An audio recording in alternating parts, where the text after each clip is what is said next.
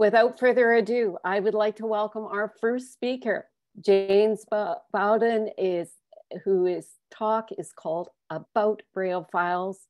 James joins us from the UK. He works at RNIB, Royal National Institute of Blind People, as a Braille technical officer, handling queries about Braille and is involved in various Braille related projects, both in the UK and internationally. You can read more about James on our symposium webpage. A lifelong Braille reader, James is passionate about all things Braille. He is familiar with several Braille codes, codes including technical aspects of UEB, Braille music, and some foreign languages. But right now, he is going to talk all about Braille files. So James, thank you. I'll turn things over to you now. Thank you so much, Daphne. And what a wonderful symposium. Thank you once again for inviting me to speak. It's an absolute honor and a privilege. And uh, I hope this will be of interest to folks. So we're going to talk about demystifying some of the different types of Braille. What is 6 dot, 8 dot, computer Braille, literary Braille, all these terms um, what are Braille files? What do they actually contain? What, how do you make one, etc. What's what? Why would you want one? How how do you navigate one? And finally, I'm hoping to touch on a new project, the eBraille project, which is kind of going into the future of Braille files. So, to start with, I'm hoping this will all be really familiar to most of you, if not all of you. Most people who learn Braille use a six dot braille cell, three high, two wide, and learn either grade one or grade two, or as we sometimes say, uncontracted and contracted braille. I'll use those terms interchangeably. And grade one or uncontracted is letter by letter. You write every single letter out. And grade two, you add lots of interesting contractions, as they're called, to represent common letter combinations and common words. In English, the contracted Braille code reduces the size of the Braille by about 20%. And that means the fluent Braille reader gains a speed increase corresponding to that. Both grade one and grade two are meant for ordinary text words primarily and typical punctuation signs. And you could say it's therefore for literature, and therefore we use the term literary braille. There's the first piece of jargon, literary braille. Covers grade one, grade two. As we know, there are not special signs for capitals and numbers. So unlike print, we have the same sign for a capital A or a small a, or even a number one, and we have special prefixes which go before that to say this is a capital or this is a number. So a capital A is actually two Braille characters in literary Braille, dot six, dot one. And the number one is the number prefix for three, four, five, six, and then a dot one. I'm sure all of that is very familiar, but I'm mentioning it to contrast it with what's coming next. So traditionally, Braille has mostly been embossed onto paper, but it can also be shown on a Braille display. These are devices which typically raise and lower plastic pins to form a single line of Braille. Now, I know there are nice new products in the in the marking marking. Uh, which will give us multiple lines, but for this, traditionally, they're one lines. You can almost think of a Braille display a bit like a little Braille screen. And traditionally, these have been used with computers and have been particularly useful when programming computers. Ah, there's a problem.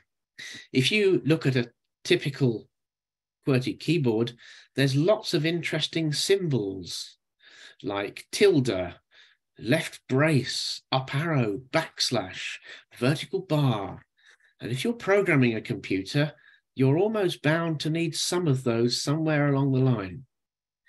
And the problem is, in traditional literary braille, some of those characters simply did not have a Braille sign for them. They don't occur in literature.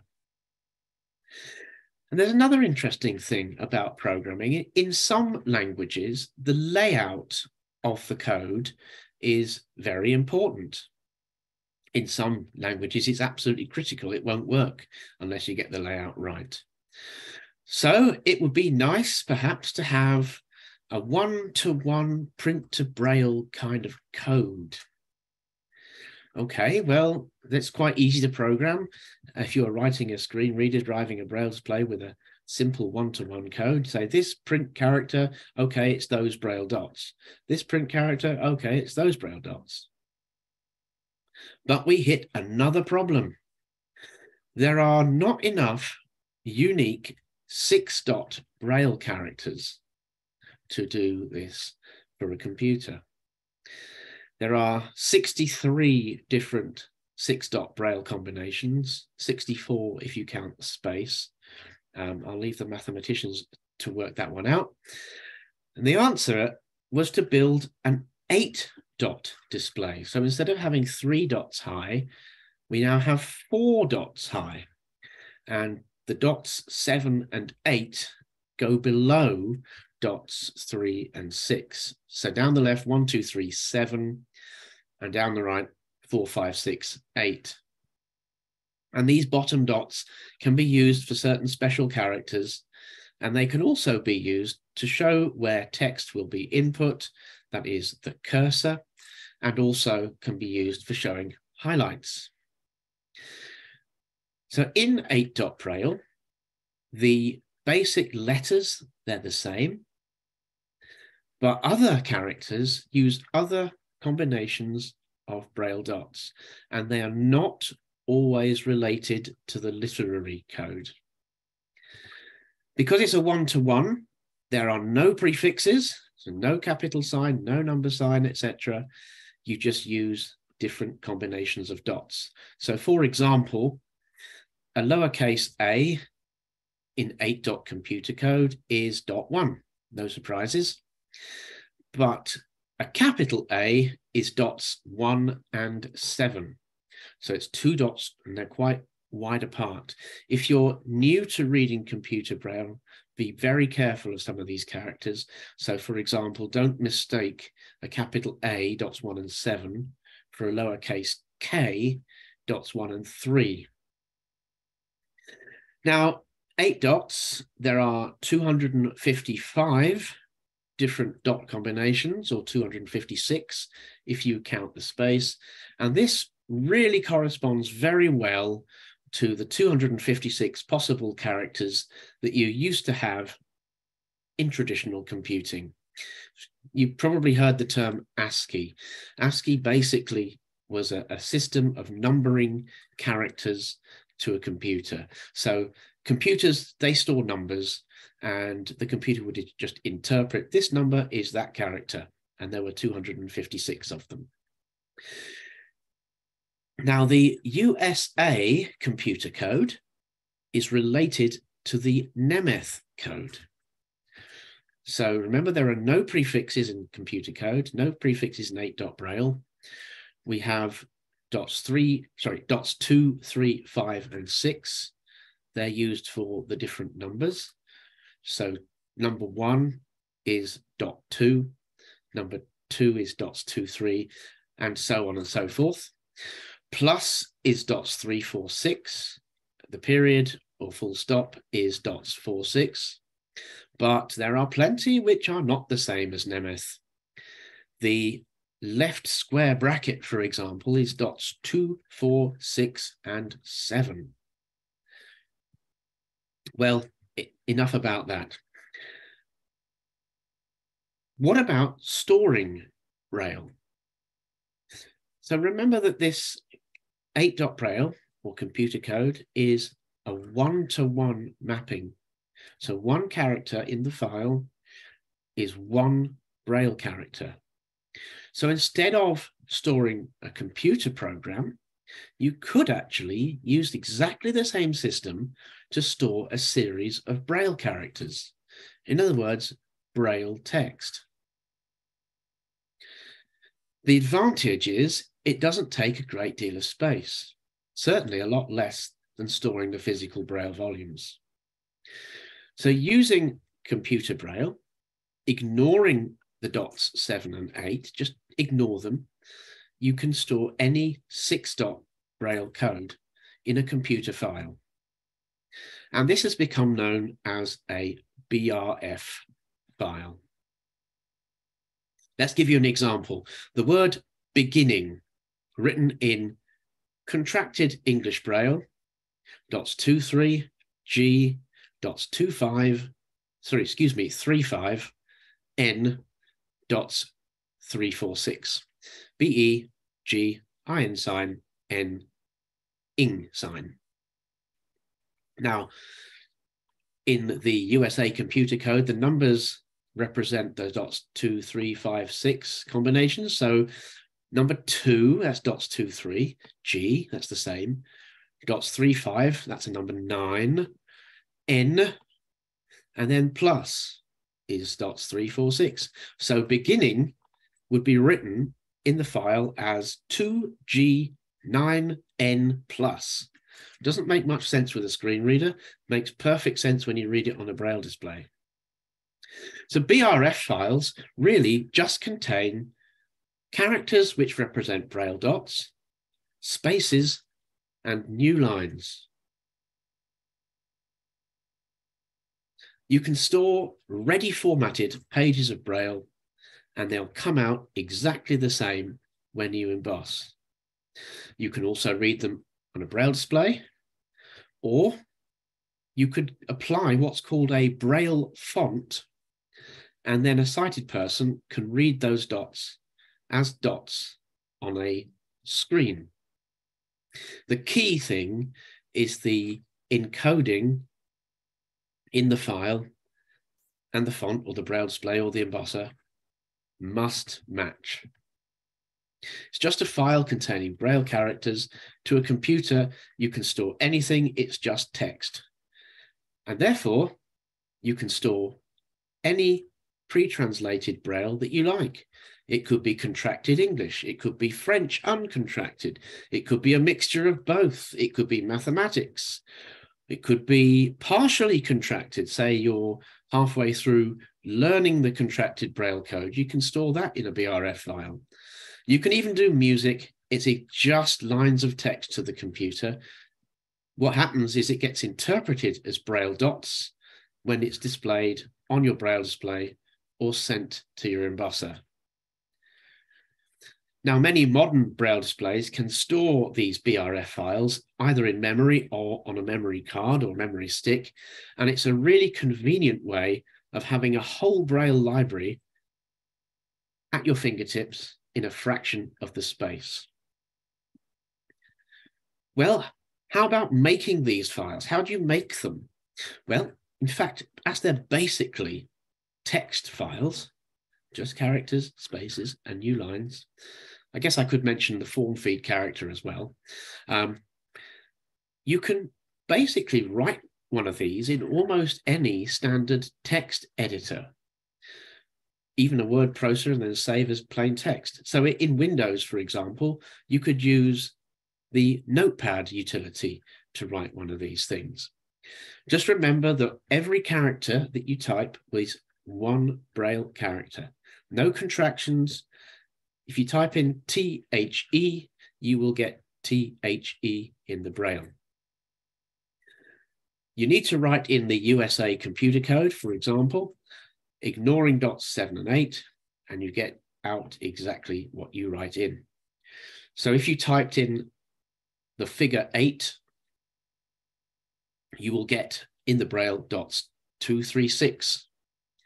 If you actually wanted a Braille number eight in the literary code, you'd have to type two characters into your BRF file the first one is the number sign, and the second one is the letter H.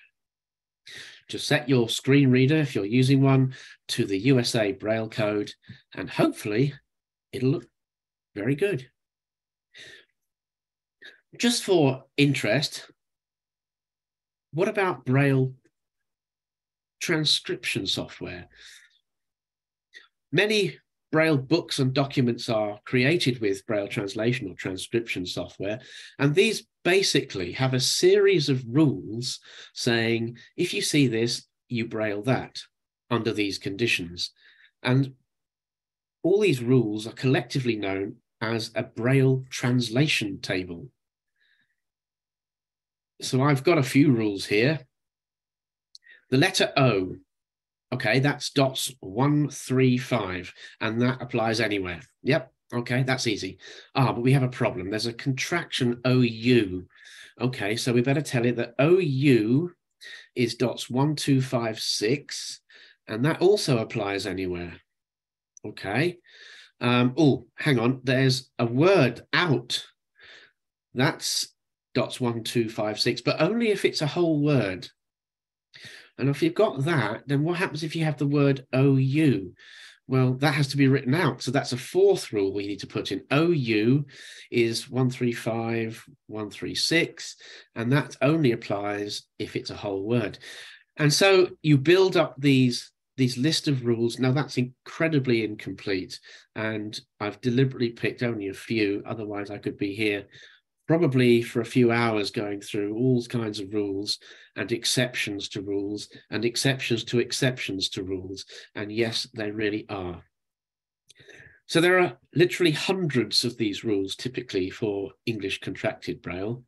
And, you know, you computers are very good at running through lists of things and finding the best match, and they can do it really quickly.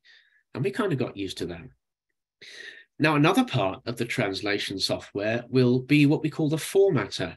And it will say, okay, I know that this part of the text, it is a paragraph. So that means I need to put two spaces at the beginning of the first line. Or it could say, ah, this, this piece of text, that's a centered heading. So I need to put load of spaces at the beginning to make it look centered. It's really quite easy because you just push spaces to make something go over to the right, and you just do new lines to make something go down the page. So we can store all these Braille files on a Braille display these days. How do you navigate one? Just basically a plain text file. So really the answer is exactly the same as what you would do for a text file on your computer. You have arrow keys to move left, right, up or down. Some Braille displays have a command to go to the next or previous paragraph. Now that is a little bit fuzzy, but basically what they tend to do is they say, well, um, typical paragraphs start with a line which has got a couple of spaces at the beginning. So let's look for a line which is indented. That works perfectly well if you have an ordinary paragraph but if your paragraphs are, say, 1 3 instead of 3 1, that is, the first line is not indented and all the other lines are indented, then of course it will not work quite so well. Some displays have a page up, page down command, but uh, that can also be a bit vague, especially if you don't have the form feed characters in the file. So it might just jump a thousand characters and hope. But the most powerful command that we have when navigating a BRF file is the find command. Typically, it's space and the letter F, and you press the two together. So it's space and dots one, two, four, press them all together, type in what you're looking for, and then press the enter key on the braille display, which is very often dot eight on the right. Now, if you do this, you must match exactly what dots you're looking for. So if you're looking for a word like chapter and it's written in contracted braille, you must use the CH and the ER sign. If you write C-H-A-P-T-E-R, even if the word chapter with contractions is there, it will not be found because it's not a translator. It's just a matching on those braille signs that you write. So remember also to include capital signs, number signs, etc., etc. Now, find is great if you know what you're looking for, but if you don't, then there are a few general tips which may be helpful. First up, many books contain a contents page. So you can search for contents with a capital C, and hopefully you can read what's in the contents page. That will give you a good clue how chapters are written, or you could look for the chapter name, or even the number of the page where that chapter starts. Do a second search and you go right to that chapter. Brilliant. Or if you want to just look for a chapter and move by chapter, you could look for the word chapter and maybe the number as well. You can search for chapter three or chapter four or whatever. But be careful. Some books write digits one, two, three. Other books will write Roman numerals I, I, I, I, I, I. And other books might use words O N E, T W O, T H R E E, etc. And the word chapter may or may not actually appear. You can get clues about this from the contents page, and you can read up to the first chapter heading to find out what they're going to be like. Because if, if it reads just Roman numeral one on its own, the line that's centered, you can pretty much guess that the word chapter is not there, and the rest of the chapter numbers are going to be written in Roman numbers as well. Next up, you can search for a new print page number. Now, in BANA countries, the USA and Canada, new print pages are normally denoted by a long line of dots 36 right across the page, immediately followed by the new print page number. So you could always search for 36363636 and then the number. In the UK, we use a different sign. We use dots 5, dots 25 and the number. Either way, you can jump to a new print page. But bear in mind that a section that you're looking for may not always start at the very top of the page. So you might have some reading still to go. Also, bear in mind that some automated systems in particular may not use those standard conventions, the lines of dots, three, six, etc. They might, for example, put new page numbers just in square brackets.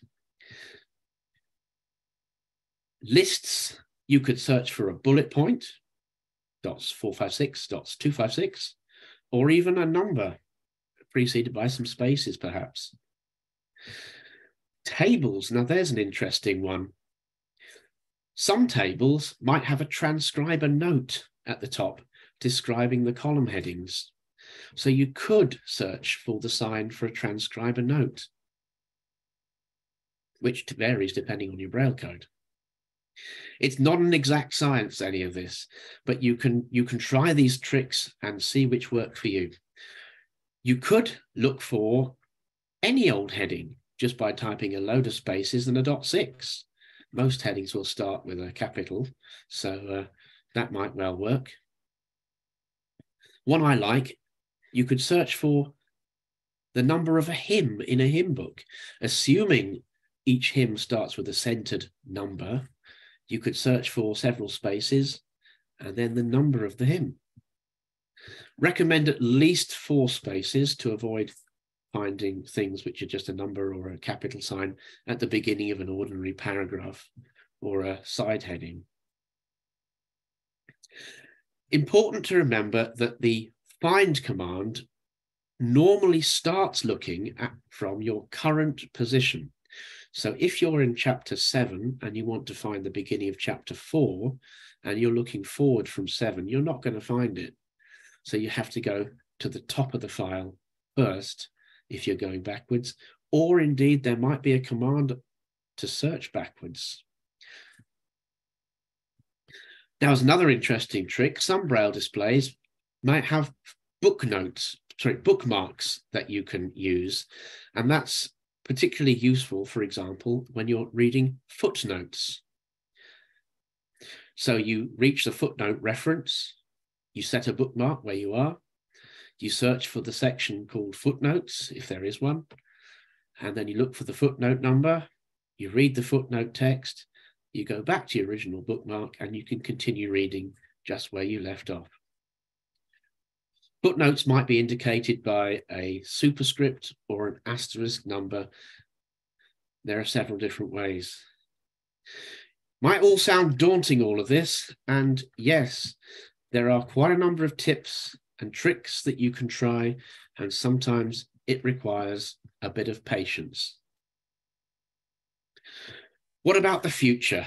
Well, there's a new project and it's called the eBraille project. It's under the auspices of the American Printing House, under the DAISY Consortium, and it aims to try and hopefully fix some of the limitations of BRF files, like all these interesting tricks you have to use to navigate. There are representatives from Braille organizations all around the world, and meetings are happening very regularly, and it's really interesting to see how things are developing. So, what are some of the advantages of eBraille files? I've picked out a few. I'm sure there are others. So, in no particular order, first one is tactile graphics. Currently, if you're producing a book, the tactile graphics have to be produced completely separately. And then you have to, in the production process, include those tactile graphics in the right places, between the right pages, and it leads to more complex production, etc. It's hoped that the eBraille file will be able to contain the tactile graphics just as you can insert a picture into, say, a Word document or a PDF file or a web page. So hopefully be able to include tactile graphics in an eBraille file as well.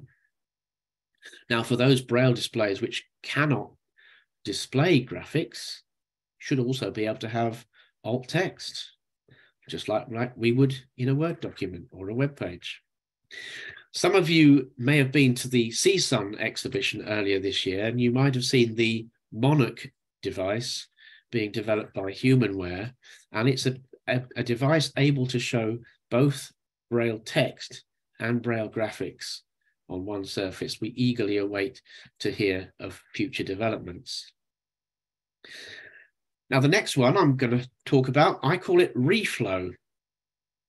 So assume you have a BRF file and it was originally written for a line length of 40 characters, which is typical for hard copy Braille, particularly in States and Canada, I understand. Now, this may or may not be an issue on your particular Braille display, but assume your Braille display has only got 32 cells, not the full 40. Or maybe only has 20 cells, not the full 40. What happens? Sometimes you get what I call long line, short line syndrome. Sounds like a horrible medical condition, but actually it means you get one long line and then one little tiny bit left over. And it's very uncomfortable to read and it wastes a lot of space if you try and emboss it. Now, I've actually written uh, a couple of sentences here. Actually, it's less than a sentence, it's a few lines. And I'm going to try and read it. And I'm going to say when I'm pressing the advance button on my braille display.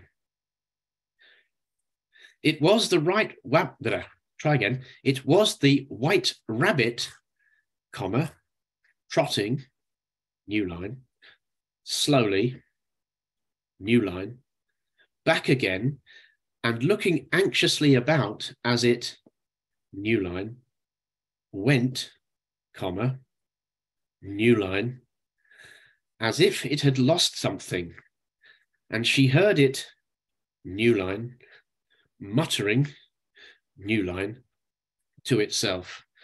You can tell it was very irregular to read that. And you really can't get into a nice Braille reading rhythm when you get this long line, short line problem. Now, eBraille hopes to be able to let the Braille display reflow the text to the available space. So even if you have a, a whopping 80 cell Braille display, you'll be able to use all available cells for the text, for ordinary text. Now, of course, there are cases where you do want a particular layout, and hopefully that will be accommodated as well. Now, what about internationalization?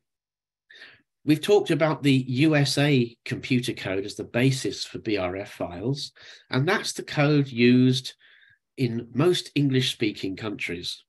But around the world, there are lots of other Braille codes. And the problem is the letters tend to be the same, but all the other signs will vary. So if, for example, I got a piece of Braille music from Germany and tried to read it on my English Braille display, all the letters would be the same, but all the other signs would be completely different.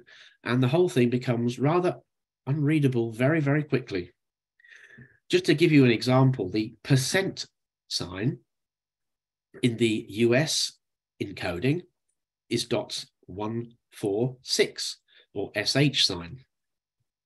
If I was in France, percent would represent dots 3468 and in Germany, it would be all six dots.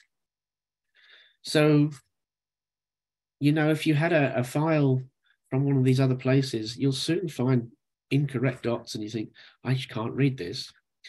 I wrote the phrase on account of the weather in grade two Braille, and I put it in a different Braille table. I got the following dot two ON space A SH sign dot three T lower h dot 5 w c h dot 5 r th sign. It makes no sense at all. You really have to have the right tables, and that is a source of big frustration, particularly in countries where they don't use English. Now, eBraille hopes to solve this one by having a single standard encoding for Braille dots and it's proposed to use the Unicode Braille patterns. And the last one that I'm going to talk about, navigation. We've talked earlier about all those wonderful tricks that you might need with the BRF file. eBraille hopes to include information about what kind of thing each bit of text is. So this bit of text, that's a paragraph. This bit of text here, that's a heading. This here, that's a table.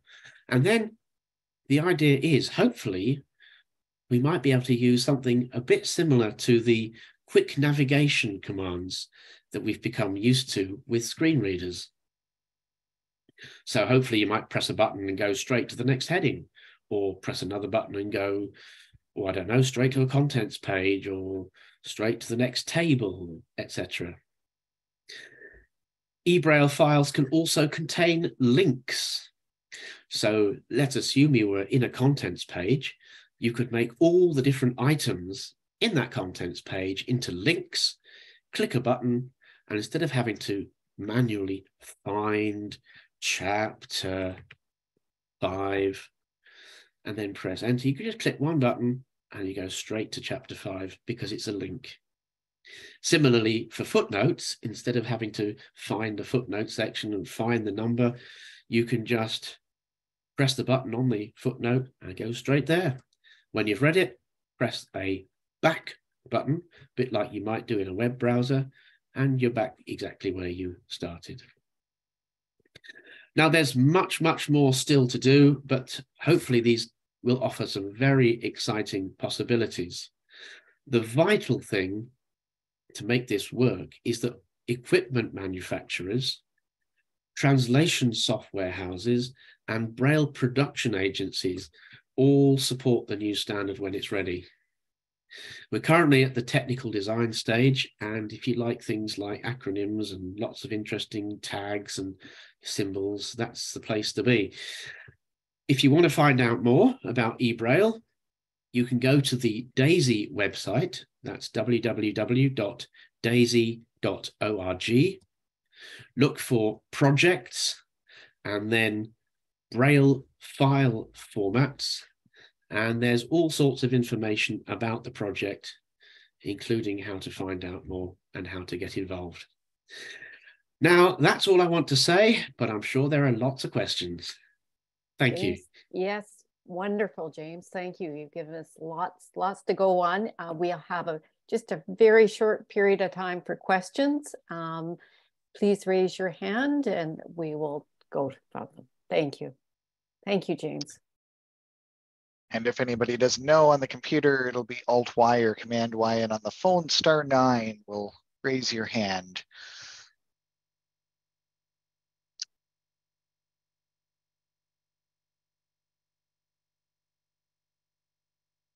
I am, oh, there we go. Uh, Debbie Brown.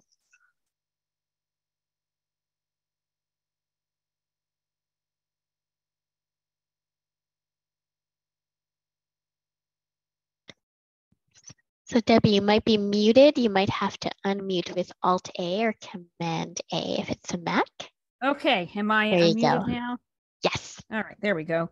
Um, I'm a little worried about, you know, we have all this wonderful old braille that we've all done, and, and I'm sure there's going to be some way of translating, and some of them, some of it'll be a little rough because you're guessing at formatting and all that. Um, you know, and we've all used it. The you know, in the U.S. we've used the ASCII table, and that's probably translatable. So, I, how easy it going to be to get our old braille into uh, um, EBRF formats? A really good question there.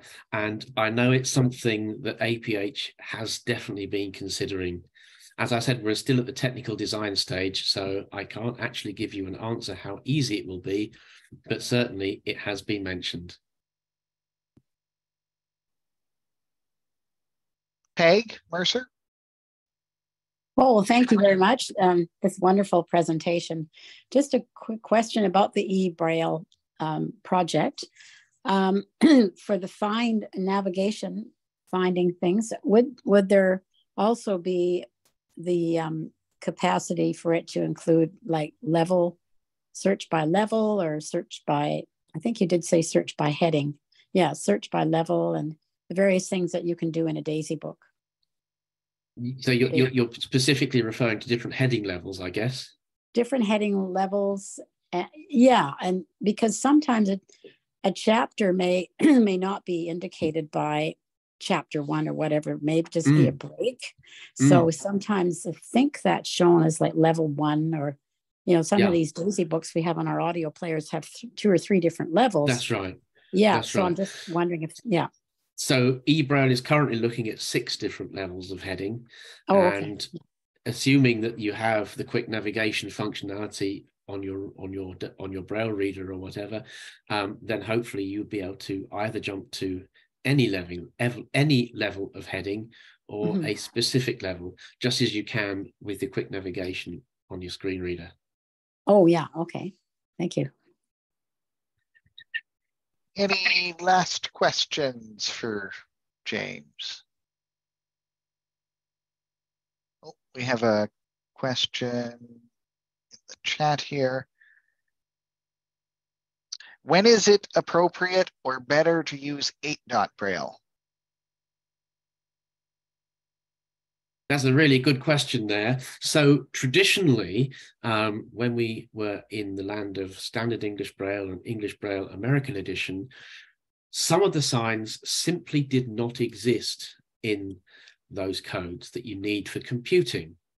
Now, the 8 dot braille was primarily devised for computing and programming specifically. So if I had a line of, for example, C code, you know, if open bracket, A square bracket, I plus J, close square bracket, vertical bar, vertical bar, it's complete gobbledygook in terms of language.